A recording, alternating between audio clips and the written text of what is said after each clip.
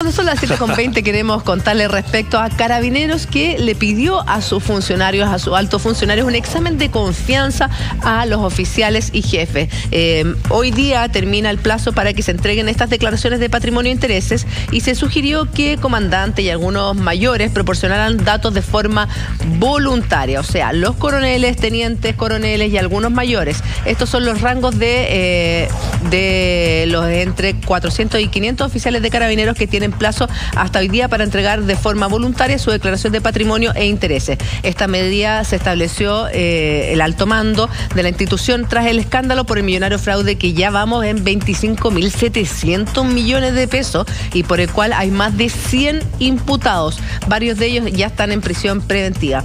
Eh, así, el 16 de septiembre se envió una circular en las filas de los oficiales jefes de carabineros con el asunto urgente. Esa era la descripción de eh, esta circular que comenzó Sí, era una, una, circular firmada por el, director general de claro. Y el mensaje daba cuenta de que, eh, según lo dispuesto en la orden general número tanto tanto de mayo, el personal institucional debía ser sometido a exámenes de confianza.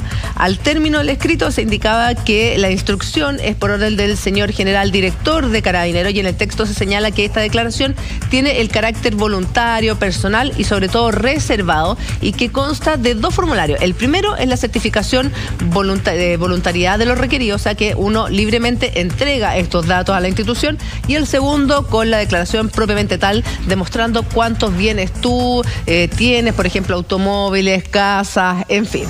Yo encuentro súper valorable lo que está haciendo Carabineros porque eh, no esto que están haciendo no, no se los pide la ley. La ley de probidad en la función pública, eh, y así lo determinó también la Contraloría, exigió que solo los generales y los coroneles dieran este tipo de declaración de bienes y de intereses. Pero eh, el em, director general de Carabineros, como una forma de, limpiar la imagen de la institución también, em, ha firmado esta, esta circular exigiendo a rangos inferiores que también hagan esta declaración, plazo que se termina el día de hoy. ¿Qué le parece a usted esta Cuidado, recordémonos que la pregunta es ¿por qué ahora y no antes? Claro. Esa, claro, porque es una reacción. Recordemos que el general director de Carabineros, él mismo ha estado muy cuestionado en su mando, precisamente porque no tomó las medidas adecuadas cuando inicia su gestión como general director de Carabineros para evitar cosas como las que hemos estado viviendo. O sea, estamos hablando de 25.700 millones de pesos. Un fraude que comenzó con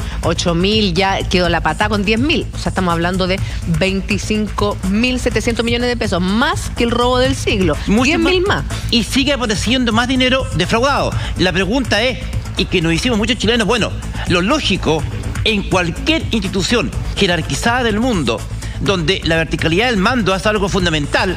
Bueno, lo que debió haber hecho, lo que pensamos muchos, no todos por cierto, es que el general director debió haber puesto su cargo a disposición.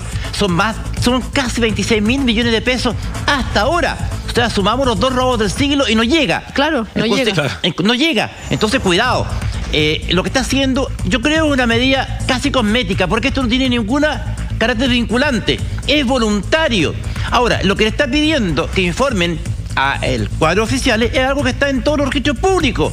Si basta usted, aprieta un botón, se mete cualquier, contrata cualquier servicio de información y sabe perfectamente cuánto gana una persona, lo sabe él si es carabinero, él, es el director. Las propiedades están en el Consejo de Bienes Raíces. Los vehículos están ¿dónde? En donde tienen que estar, en el Registro Nacional de Vehículos Motorizados. Los depósitos bancarios, basta cometerse, apretar un botón, superintendencia de banco y sabemos cuánto tiene cada persona. Depósito en el extranjero, pero es muy sencillo. El Banco Central tiene la información. Entonces, ¿qué es lo que van a consignar esos oficiales en su declaración voluntaria que no se pueda saber por un registro público? Nada. Me suena más a mí, a medida cosmética. Ojo, las cosas no pasan por ahí. Además que de voluntaria no tiene nada. Perdón, porque si todos van a entregar la declaración, yo me siento absolutamente presionada y al que no la entregue, ¿tú crees que no van a sospechar de por qué esta persona no la entrega? El que nada hace nada. Inevitablemente se cuestiona, dice, sí, a ver, todos los coroneles lo entregaron y el coronel tanto no lo entregó. ¿Por qué no lo entregó voluntariamente? ¿Por qué no lo hizo? Todo, lo, van a llenar. Pero Exacto. Y, van a colocar lo que estimen conveniente, que son la misma información que ella consta en registros públicos. Entonces me parece más que nada una, una cosa más cosmética. Es que es una señal para la la gente, me da la impresión, después de eh, los tremendos cuestionamientos que se han dado por, eh, ejemplo, por ejemplo, de este fraude, eh, me da la impresión que es como una señal para Es la gente de transparencia. Decir, mire, nosotros estamos aplicando todas las medidas, pero recordemos que la semana pasada nomás ya se habló y él dijo, yo quiero terminar mi mando. Sí, lo dijo. Lo dijo. Está, en, en la mitad de su periodo. Su- pero, pero la intención es terminarlo, no salirse Para- antes. entonces estas medidas se encuadran dentro Aldo. de eso, una subsistencia institucional. Aldo, pero, pero no, no, no servirá este tipo de declaraciones para, por ejemplo, en los rangos que son más eh, inferiores, eh, saber si es que han aumentado mucho su patrimonio cuando sus sueldos no, no dan para tener, por ejemplo, cuatro o cinco casas, tantos vehículos. Mire, Carabineros tiene dentro de Carabineros un departamento de, de la Dirección de Inteligencia Policial que permanentemente está verificando esto, revisando cuando algún funcionario de la más humilde comisaría, del más humilde retén, hasta el más empincorotado oficial, aparece con un patrimonio, por ejemplo, yéndose de vacaciones a Miami todos los años, hasta con la sola y el gato, y resulta que no tiene de dónde sacar.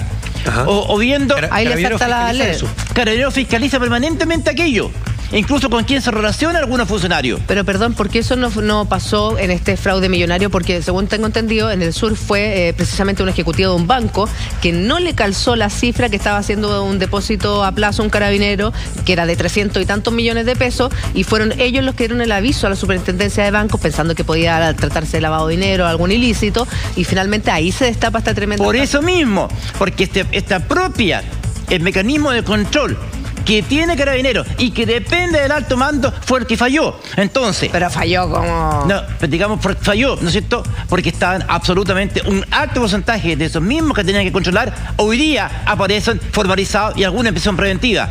Entonces, el tema es al interior. Yo entiendo este mensaje que se eh, intenta enviar a la comunidad, a todos nosotros. Mire, esto es una medida de transparencia que estamos haciendo. Eso ustedes lo saben desde hace mucho tiempo. El tema es que falló al- al interior y no se hizo efectiva la responsabilidad en el mando. Y eso a mí me preocupa desde el punto de vista institucional. ¿Y estas declaraciones usted cree que deberían estar eh, eh, disponibles para otras instituciones y que no solamente carabineros las tenga y que ellos mismos se? ¿Obligatoria? La pregunta es, ¿se puede obligar sin vulnerar, sin vulnerar la privacidad de los datos a cualquier ciudadano a entregar una acción de patrimonio? Esa es la pregunta. ¿Por qué la diferencia con Carabineros? Porque la diferencia, no es que la ley lo dice. La ley lo establece, la Contraloría para generales y coroneles.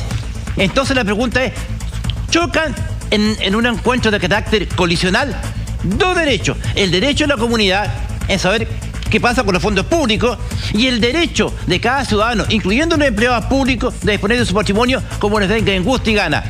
Entonces, ahora, si yo estoy cometiendo delito, para eso está, ¿no es cierto?, entre otras cosas, los lavados activos, la unidad de análisis financiero. Hay una unidad de análisis financiero.